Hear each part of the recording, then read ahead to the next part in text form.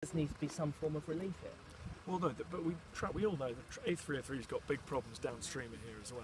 And look, if the whole A303 was was dual carriageway, but this stretch wasn't, this wouldn't, you know, this would be, um, you know, it, it would that, that would be one problem. The problem is it, it's not. There's, there's there's bottlenecks all the way down the A303 to the west here, which needs a it needs a big solution, uh, and that is a very very long tunnel that go right under the World Heritage Site, or it needs traffic being rerouted. I think through, possibly through Larkhill as well. There's lots of other solutions that don't enjoy don't involve destroying the most priceless heritage site on planet Earth. Uh, and that's something that we need to think about as we look at the rest of the world at the moment and they're bulldozing heritage and they're wrecking things. We live in a wonderful country where heritage is respected and valued. And we've got to accept it, it's bad luck. We've got to accept we have one of the most extraordinary jewels of world history and archaeology right here on our doorstep. We're very lucky to live nearby.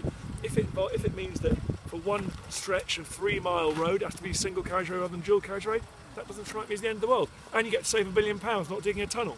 Earlier we were talking